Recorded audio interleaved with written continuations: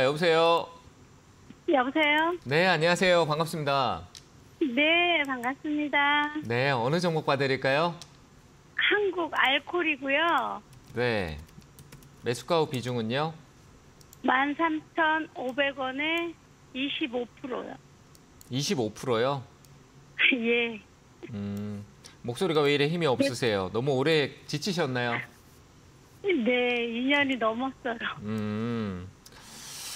그래도 좀 더 가보죠. 음. 아, 괜찮겠어요? 네, 괜찮아요. 기업은 괜찮고요. 그 기업이 네. 뭐 예전에 이제 우리 소독 쪽 관련된 뭐 우리 손소독제 있죠, 그죠? 어, 이런 쪽 네. 이슈 받아서 한번 급등이 나왔는데 원래 그런 급등이 나오지 않는 그냥 편안한 추세적인 이런 흐름을 가는 잔잔한 기업이었거든요. 근데 그때 네. 이후로 코로나 때 이후로 좀 부각이 되면서 이 주가의 변동성도 조금 생기기 시작했는데 요즘 또 다시 좀 잠잠해진 부분은 있어요. 근데 워낙 재무적인 네. 부분도 안정적이고 뭐 주종 쪽 네. 관련된 부분, 알코올 쪽 관련된 부분이나 이런 요소들은 향후에 또 반등성을 줄 수 있어요. 그러니까 재무적인 부분이 그때도 네. 나쁘지 않았어요. 계속 좋았던 흐름이었기 때문에요. 저는 네. 이 기업이 그 분명히 코로나 때문에 실적이 높아진 건 맞지만 그러니까 지금 또 네. 그런 부분들이 우리가 이제 좀 많이 신경을 쓰잖아요, 그죠? 뭐 미세먼지나 네. 황사, 그 요즘 목감기나 이런 것도 또 유행하거든요.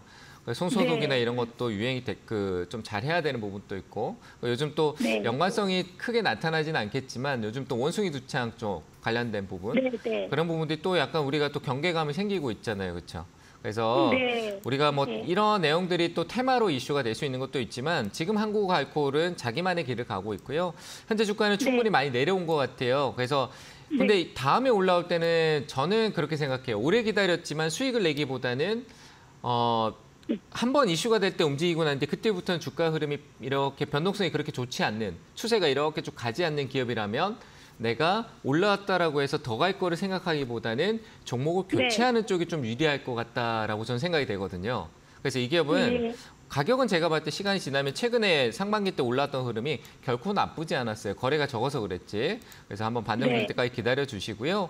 어, 거의 네. 매수 가까지 다 왔었던 2만 아, 12,500원대 정도까지는 충분히 회복이 다시 될 것 같아요. 여기가 박스 형태로 지금 움직이고 있다 보니까 내려갈 이유도 크지는 네. 않거든요. 그래서 12,500원 이쪽으로 오면은 뭐 연락 주셔도 되, 되고요. 매수가까지는 조금 네. 시간 걸릴 수 있지만 저는 네. 갈수 있다라고 보여집니다. 일단 아. 12,500원까지 우리 홀딩 해보죠.